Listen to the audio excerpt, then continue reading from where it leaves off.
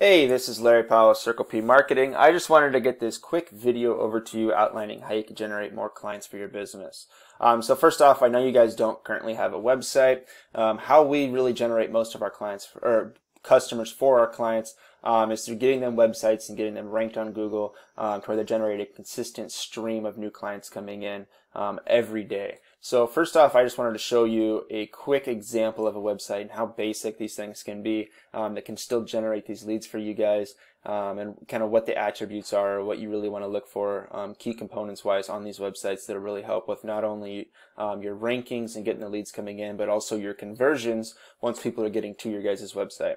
Um, so this is a website I have built for a company here out of Oregon where I'm based out of. Um, so there's just a couple things on here that I wanted to show you really quick so you can kind of know what to look for. Um, first off, click to call buttons are going to be awesome for your business. People are doing mobile search so often these days. Having these click to call buttons where they can just click on this phone number and automatically connect with their cell phone is going to be huge for you guys when it comes to conversions. Um, next off, contact forms up here front and center. Um, people are really looking for that business and get out there and give them a quote on getting their project done as soon as possible. Um, so if they're not having to search around your website for that contact form, that's going to really help with your guys' conversions as well. Now, when it comes to rankings, there's over 200 different factors that Google looks at when it comes to rankings and who determine or in determining who's going to be in that top spot.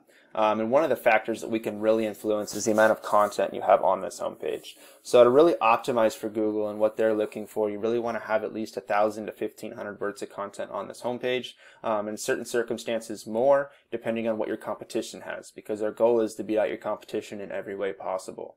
With this content, you really want to make sure you have your search terms that you really want to be found for listed within this content. Um, and I'll go over one search term I found that could generate a lot of traffic for you guys. Um, but overall, you know, what you're really looking for is just content um, and then making sure this is as user friendly as possible um, so that it'll convert once people are getting to your guys' website.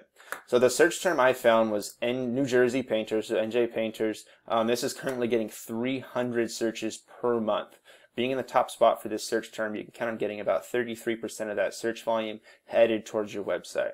So as we're looking at Google, there's a couple different things we're looking at here. Everybody knows how to use Google, um, but not, not everybody fully understands exactly what they're looking at here. So this is Google paid ads.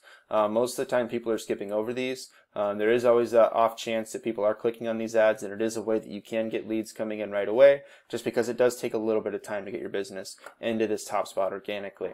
Um, so if you guys are needing leads coming in right away, um, this is a service we could help you guys with as far as getting these ads put up here uh, and you know getting some leads coming in right off the bat. Next, we're going to be looking at the three pack or G GMB or Google My Business. Um, this is very valuable territory for your business because again, people are doing mobile search so often, um, and you know they're looking at this, these three businesses um, as the first thing they're seeing. So getting your business into here, there's a couple different factors for what you're looking at. The first one is just known as citations. Citations is your business name, address, and phone number listed on the web. Um, some great citation sources you could find for your business would be like Yellow Book, um, even a Facebook page. If you list your address on there, it can count as a citation. So there's a lot of opportunities out there for citations, and the more you have, the better your chances are of being in this three pack. And what we can actually do is look at the number of citations that these top three have, and then we can beat out that number. So my recommendation would be if they have, say, 50 of them, we go for 150 because we want to beat out the competition in every way possible. Another big factor for how you get your business in here is your organic rankings. So where your business sits organically in these search results plays a big factor in if you're going to be in this top three. So as we're looking at the organic search results, we have Angie's List and Home Advisor as the top two sites most of the time people or Google prefers to rank the small business owner over these large national directory sites like this because these guys are in direct competition with Google Ads. So as long as your website has the correct amount of content and you're optimized out for Google, 99% of the time you guys are going to be passing these ones up.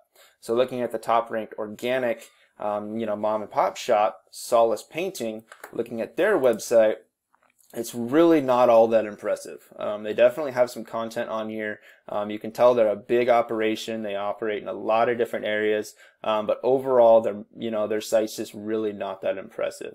And we're, when we're looking at these sites, it's not just you know the front end of the site that we're looking at. We're also looking at the back end of the site. So Google is built on what's called backlinks. And it's one business linking itself to another business, one website linking itself to another website.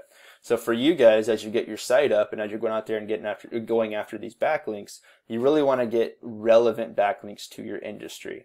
Meaning you guys, you know, it's going to carry a lot more weight if you get a backlink to a painting company here out of Oregon, where I'm based out of, than if you guys were to get a link to your local Pizza Hut, because you guys aren't slinging pizzas. So for this company, they have 38 backlinks um, and 19 referring domains. And the domains is the websites it's coming from, and you can get multiple backlinks from a domain. Um, so looking at this, the metrics, you know, there's just not a lot of competition from these guys. Um, be very doable to pass these guys up in a short amount of time. And they're currently getting 278 people per month headed towards their websites. There's a lot of traffic here um, that you guys could capture by, you know, really taking over this market and um, targeting a lot of the same keywords um, that they're already going after. Next coming down here, we have Touch a Brush Painting, looking at their website. Again, it's a nice website. There's a little bit more content on here than the last one, but still very doable to pass these guys up. Um, and looking at the back end of their site, the metrics are even worse. Um, very doable for you guys to get a website up and claim a good portion of this, you know, 300 search volume that it's coming in currently um, for New Jersey painters. If you have any questions on this, I'd love to talk to you more. We could set up a quick 10 minute phone call. Um, love to learn a little bit more about your business and we could talk about what we could do for your company. Thank you and have a nice day.